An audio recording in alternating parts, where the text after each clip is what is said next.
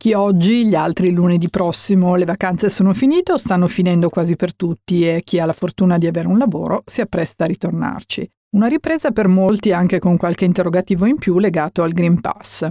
Il problema oggi è il Green Pass per l'accesso alle mense.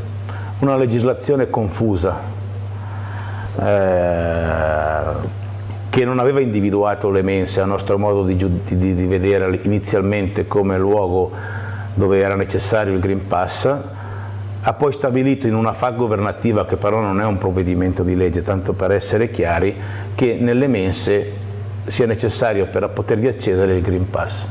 Questa è la cosa che noi abbiamo criticato. Una critica questa che non è piaciuta al presidente di Confindustria Carlo Bonomi, che soltanto alcuni giorni fa dal meeting di Rimini a propria volta ha bollato come un grosso errore che intraccerebbe la ripresa quello dei sindacati rispetto al Green Pass. Zamboni tuttavia non si scompone, anzi. Confindustria sono quelli che hanno fatto le pressioni perché non ci fossero le zone rosse, non venisse chiusa la bergamasca quando, quando ce n'era bisogno.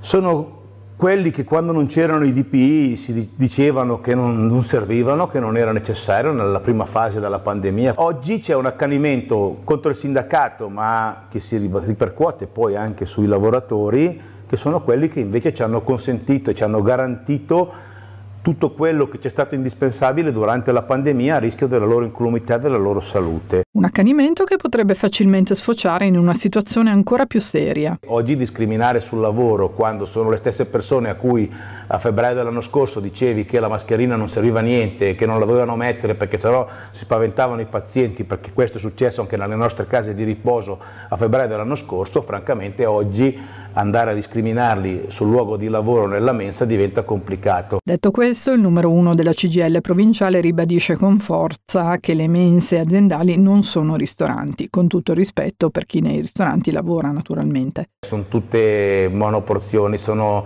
eh, tutto sigillato, i distributori, sono state abolite le, car le, caraffe di acqua sui tavoli, ci sono distributori con la fotocellula perché se vai lì che li tocchi poi c'è il passaggio, quindi il luogo della mensa aziendale ha un livello di sicurezza che è molto superiore a quello che c'è in qualsiasi ristorante. E rimane quello di non complicare ulteriormente la situazione di un mondo del lavoro dove i problemi sono già macroscopici.